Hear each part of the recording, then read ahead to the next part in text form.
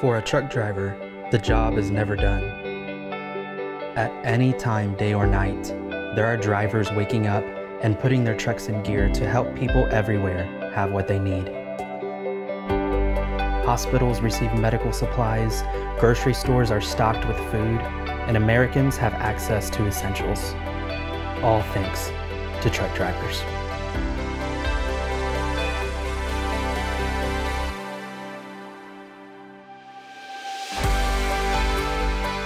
During this time, when you're thinking of heroes, be sure to include the truck driver out there on the roads, keeping the country moving.